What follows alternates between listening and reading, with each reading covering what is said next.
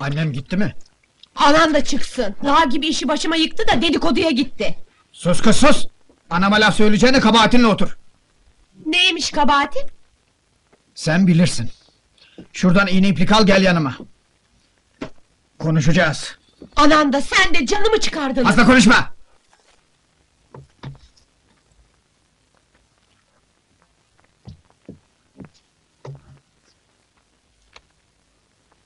Sen emrimdeki bir Sus çöpçü... konuşma. Al şunu ağzına. Bir çöpçü parçasına cilve yaparsın ha. Aman hadi be sen de konuşma. Sus, inkar etme. Kendisi ağzıyla söyledi. Tencereden su dökmüşsün kafasına.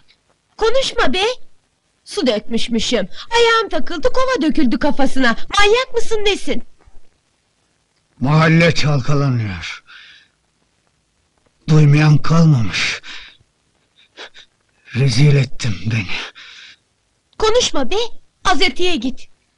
İyi etmişim çöpçüyle cilve yapmışsam. Oh canıma değsin. Sus kız, beni deli etme.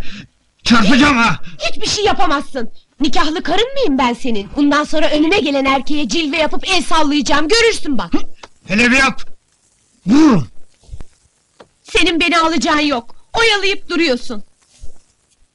Babam üç gündür bekliyor. Niye gelmedin?